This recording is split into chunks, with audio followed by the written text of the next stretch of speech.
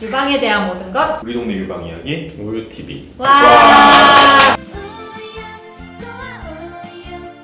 제가 최근에 유방암의 아형에 대해서 이제 간단하게 설명을 했는데 이 각 아형에 대해서 조금 더 자세하게 설명해야 될 것 같고 자꾸 질문 들어오고 제가 커트해서 좀 미안하기도 하고 그래서 영상에서 말했지만 삼중 음성이라는 거는 에스트로겐 수용체, 프로게스테론 수용체, 허투 수용체 이 세 개가 없을 때 삼중 음성이라는 거를 이제 얘기를 하는 건데 세 개가 중요한 이유는 세 개를 targeting하는 이 약들이 있기 때문인 건데 이게 다 해당되지 않는다는 거는 그 targeting하는 약을 못 쓴다는 쓸 수 있는 약은 이제 일반적인 항암 화학 요법밖에 없는 거죠. 머리카락 빠지는 그런 약들인 거죠. 우리나라에 아직 안 들어오긴 했는데 요즘에 조금씩 삼중 음성에도 표적 치료들이 나오고 있기는 하거든요. 전이성 삼중 음성 유방암에서 이제 조금 진행된 경우 이제 이미 약을 한번 쓴 경우에 Trop2라고 하는 또 뭐 새로운 거 또. 있는데 그게 이제 유방암에 되게 많이 발현이 되는데 그거를 이제 target으로 하는 그런 표적 치료제를 개발했고 그걸 써봤더니 효과가 굉장히 좋더라. 아, 그런 거 좀 하나 개발해봐. 우리 좀 투자 좀 하게. 어, 돈 많이 벌겠다 그거는. 어. 근데 이제 삼중음성 유방암에서 환자분들이 가장 가장 힘들어하는 게 이제 어, 예후가 안 좋다.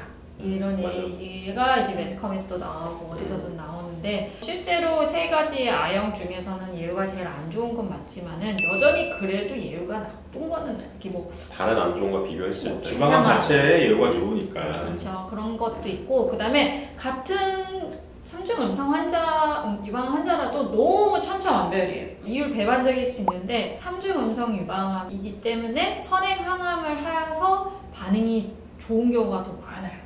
음. 음. 일단은 항암이라는 약 자체가 빨리 자라는 세포를 죽이는 약이란 말이죠. 근데 삼중 음성 유방암 세포들은 대체로 빨리 자라는 세포들이란 말이죠. 음. 그러면 항암을 치면은 다 죽는 잘 죽는 거예요. 아. 이해가 되네요. 네, 그럼 선행 항암을 하고 나서 우리가 이제 암이 사- 다 사라진 걸 이제 완전 관해라고 하는데 음. 그 완전 관해 비율을 뭐한 3, 40% 높게는 4, 50%까지도 보는 거고 그 다음에 완전 관해가 안 되면 또 불안하잖아요. 그럼 거기에 또 항암을 또 더할 수 있는 그런 옵션들이 또 있는 거죠. 그러니까 오히려 천천히 자라는 호르몬 양성 유방암 같은 경우에는 천천히 자라서 그 생존율이 높을 수도 있지만 항암에 잘 안 듣는 경우가 있을 수도 항암, 선행 항암에서 잘 안 없어져요. 그러니까요. 진득한 놈들이구나, 걔네들이. 가- 네, 음. 그리고 길게 가고. 음. 그 삼중음성 유방암은 장점이자 단점일 수 있는데 항암을 하잖아요. 음. 항암으로 근데 끝나요. 불 같은 애들이고, 얘네들은. 그냥 최장 6개월의 항암을 하면은 그 이후에 약을 먹을 일도 없고 뭐 무슨 뭐 할 게 없으니까 음. 물론 그게 불안하게 다가올 수도 있지만은 호르몬제를 드시는 분들 그 호르몬제를 오래 드시는 거에 대한 힘든 것도 몇 있거든요. 년씩 그렇게 할 필요는 없는 거죠. 재발하는 것도 삼중음성 유방암은 3년이 재발이 제일 많아요. 음. 피크를 쳤다가 3년 지나면 어, 호르몬 양성 유방암이랑 비슷하거나 오히려 더 낮아지거든요. 음. 그 3년 지나면 약간 고비를 넘긴 느낌이 있을 수가 음. 있는 건데 호르몬 양성 유방암들은 삼 5년 년 지나서도 지나도, 5년 지나도 재발을 너무 많이. 하니까 그 계속 좀 있는 거죠. 진짜 빡 하고 너무 고비 넘기면 괜찮아요. 뭐 그런 해서 무조건 나쁘다고만 볼 수는 없는 것 같아요.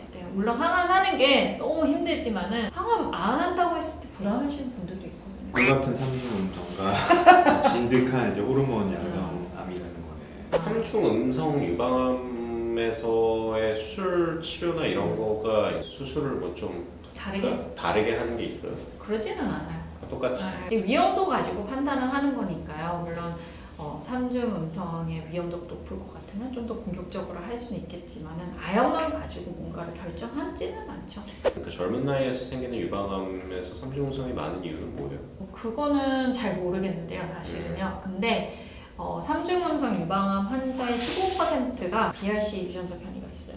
15%. 네. 꽤 높네요. 굉장히 높은 거네요. 그러면 호르몬 양성에 비하면. 그래서 브라카 유전자 변이 검사의 기준 이제 급여 기준이 그냥 나이가 40세 이하인데 삼중 음성만 60세예요, 사실은. 음. 네. 삼중 음성, 음성 유방암이 치료가 간단하니까 제가 이제 간단하게 끝날 음. 거라고 했지만 향후 치료가 간단하지 않을 가능성이 커요. 향후 치료를 하면 향후 이제 미래 치료들이 어, 조금씩 분류를 하고 있는데 우리가 BRC 유전자 변이가 있을 때 그거를 공격하는 이제 약이 좀 생겼거든요. 올라파리 음. 이런 약 파비니부터라고 하는 건데 음. 그게 좀 결과가 좋아요. 그러니까 이게 결국은 미래는 삼중 음성에 들어있는 이만큼의 모르, 우리가 모르고 있는 이만큼이 분류가 이제 하나씩 더 나올 수 있는 네, 얘기라는 네, 네, 거잖아요. 맞아요. 그래서 이제 그 약, 약 치료 방법들이 달라질 수 있다 이런 얘기인 거죠. 맞아요. 그래서 파비니비터는 지금은 전이성 유방암에서만 쓸 수는 있는데 음. 최근에 나온 결과는 이제 수술 다 하고 항암 다 끊는 환자한테 줬을 때 예후가 더 좋다 이렇게도 나왔거든요. 근데 물론 그거는 우리나라에 급여가 되기까지 시간이 걸리겠지만 그런 게 있고 아니면 면역 치료제 알고 있어요? 면역 치료제 제일 많이 쓰는 게 PD1이나 PD-L1의 억제제인데 최근에 선행 항암에서 PD1 억제제인 키트루다 키트루다. 네, 라는 약을 썼을 때 만정 반해율이 더 높아졌다. 엄청 비싸죠. 키트루다가 원래 폐암에서 원래 비소세포성 폐암에서 주로 많이 쓰던 약이잖아요. 어, 엄청 많이 모든 진짜 많은 항암제 써서 회사 되게 좋을 것 같아요. 워낙에 삼중암성 유방암이 어쨌건 유방암 환자에서 뭔가 이 표적이 없는 게 오래된 문제니까 그걸 계속 공략해 나가. 어쨌든 유방암이라는 게 굉장히 앞서 나가고 있다는 게 또 이런 또 점도 있다는 거네요. 그렇죠. 계속 바뀌고 제약회사에서는 환자가 많으니까 덤비고 음. 하는 것이 있는 거죠. 돈도 많이 들어가 있는 상황이고 돈 많이 들어가고 개발하면 돈 많이 벌고. 벌고 삼중암성 유방암의 미래가 많이 기대가 돼요. 사실. 저희가 저희 전공의를 할 때에 비해서 확실히 최근 들어서 꼭 유방암이 아닌 그런 암들도 어쨌든 희망적인 경우들이 많고 폐암이 엄청 네, 좋아졌잖아요. 그런 게 다 이제 이런 면역 치료와 어쨌든 우리 바이오마커를 또 만들고 이제 그래서 그런 게 그런 거겠죠? 맞아요, 맞아요. 제가 이런 얘기 해도 되는지 모르겠지만 제 환자분 중에 한 분이 국내에서 면역 치료에 되게 대가셔요. 본인이 유방암을 진단받은 거죠 그런 정도를 아. 하시는데 그래서 본인이 진단받은 상황에서 본인의 그런 피를 뽑고 본인의 그런 배간을 뽑아가지고 그걸 또 거기 연구를 하기 시작하고 신이 나셔가지고 어, 되게 이제. 상심을 하시면서도 면역 치료제 개발을 위해서 막 열심히 하고 계시는데 한 3, 4년 전까지만 해도 유방암에서 결과가 그냥 약간 그냥 미, 미, 미적지근 했거든요. 결과들이 진짜 좋아지고. 회사들도 많이 생기는 것 같아요. 어쨌건 함정검성 유방암은 더 궁금한 것 같아요. 또 질문 뭐 하면 네. 어쨌든 항암제를 쓰는데 어떤 항암제를 쓸지는 사실 병원마다 선생님들마다 어떤 항암제를 쓰는지가 조금씩 다를 수도 있잖아요. 이게 조금 어디에 달라요. 뭐에 따라 달라지는 기본적으로 쓰는 약은 정해져 있어요. 그래서 탁솔 계열과 안트라사이클린 계열 이렇게 두 가지 계열을 어떻게 쓰는 다른 겁니까 그게? 이 두 개 약이 음. 각자의 부작용들이 있을 거 아니에요. 그러면은 똑같은 삼중 음성이라도 1기도 있고 2기도 있고 3기도 있고 나이도 다르잖아요.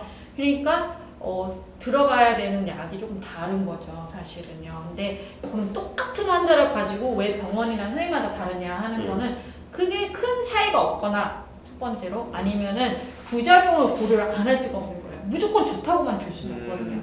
그러니까 이 약을 줬을 때 어, 재발률이 한 5% 줄어든다. 그러면은 근데 어, 엄청나게 부작용이 심하고 환자가 못 견뎌낸다. 음. 그러면 그 5%를 위해서 이거 계속 줄 것이냐? 이거, 예, 이런 고민을 하는 것인 거고 그래서 좀 그런 거에서 이견이 생기는 건데 기본적으로 쓰는 이 기본 계열 약은 보조적 치료 쓸 때는 정해져 있어요. 음. 네 질문 더 안 받을래요. 그러면 음. 우리 동네 유방 이야기 우유 TV였습니다. 네. 구독 구독 구독 좋아요. 알림 설정 부탁드립니다. 네. 와